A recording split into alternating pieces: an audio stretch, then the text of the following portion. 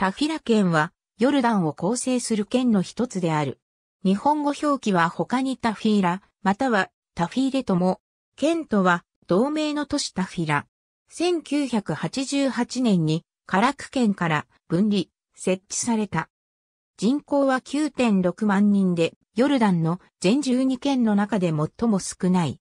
現在のヨルダン南部を統治した古代エドム王国の首都を含む多数の史跡が所在する。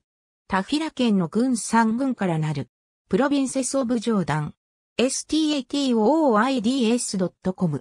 2020年4月9日閲覧。ジョーダン、ガバンレイツ。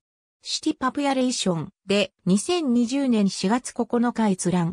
ジョーダン、ガバンレイツディストリクツ。シティパプヤレーションで2020年4月9日閲覧。